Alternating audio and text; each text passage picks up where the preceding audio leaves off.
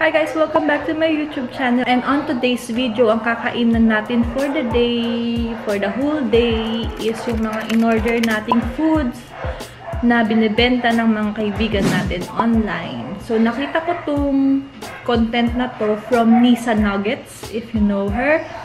Ayun. Um, yun lang. Bye. And I'm gonna try itong um, business ng friend ko, roasted coffee. I bought Excelsa at saka Arabica. FB page ko, ilalagay ko dito. Dito. Yan. I-follow nyo ako guys. And if you want to order 300 ml coffee, milk with coffee jelly, 65 pesos lang. So, ayun. Kaka-prepare ko lang. Dito yung orders for tomorrow. The next day. 12 hours na siyang nasa ref. Church day kasi, so may maririnig kayong background. Guys, dumating na yung for breakfast natin. I have red velvet. Yeah. And then, dream cake.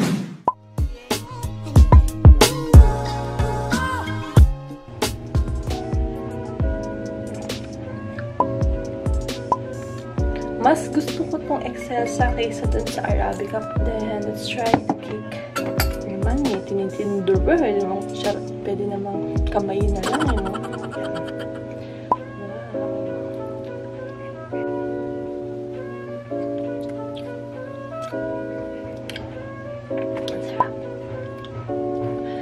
Tamang-tama lang yung tamis niya. Hindi siya sobrang tamis. May mga red velvet kasi ako natitikman na hindi ko maintindihan yung flavor. Sobrang hangar. Pero ito, naglalaban yung tamis. Hindi naman.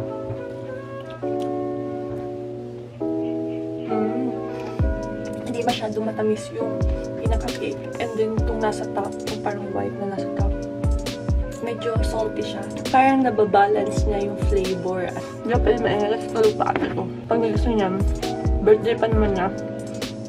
Naku, sisigawan tayo ng girl.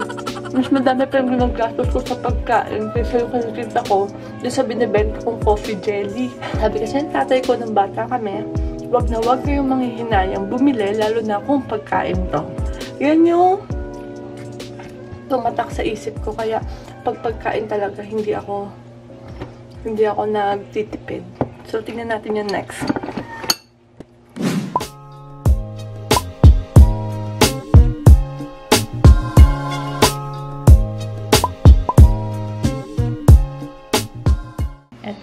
Ating sushi bake. This costs 200 pesos. May kasama siyang isang pack ng nori. Nakikita ko sa mga pinapanood natin sa Instagram, um, ini-scoop nila. Yan, blurred. Wow! Tapos ilalagay nila sa nori. Sushi bake.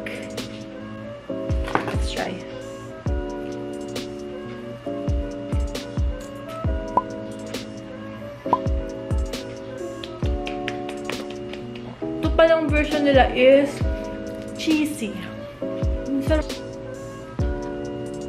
Wow. That's it.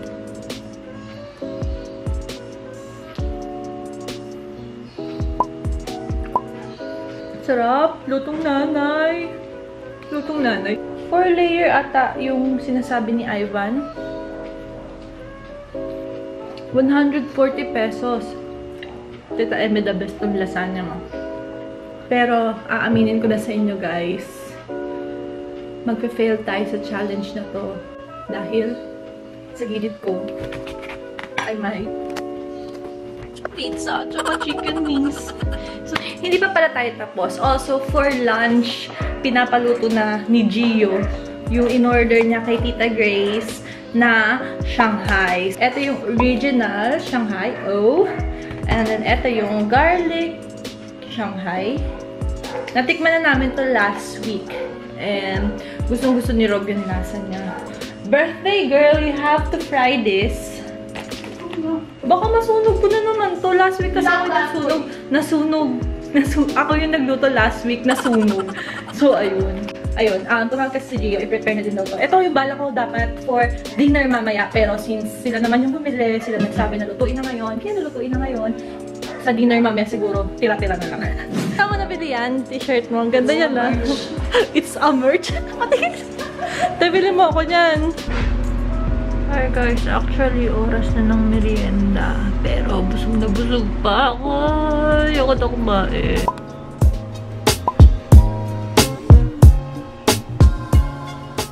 Since merienda na, let's try na the moist cake. And then, medyo blur na natin yung sarili natin kasi medyo haggard na.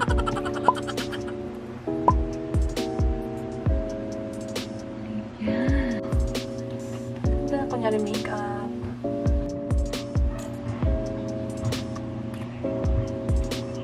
Hmm. Blur na sarili natin.